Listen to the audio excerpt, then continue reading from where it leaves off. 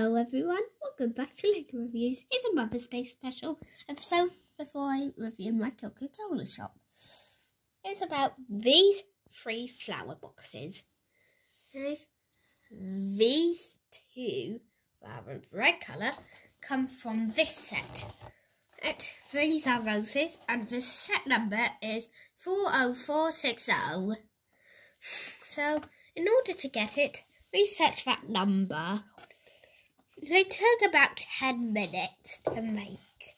Okay, these three, which are tulips, come from this set.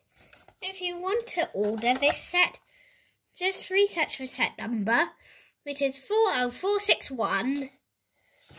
It strangely came after this one. Also, this one took about 15 or 20 minutes since there are three of them. There it and the, these two are sunflowers coming from this set, which is number 40524. Uh-huh, it took about 25 minutes because there was a step that told you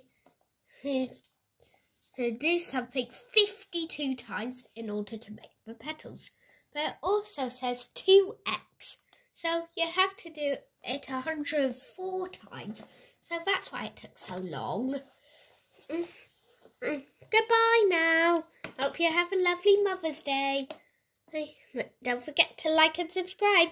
And also, if you also if you spent time with your mother today, they hit the like button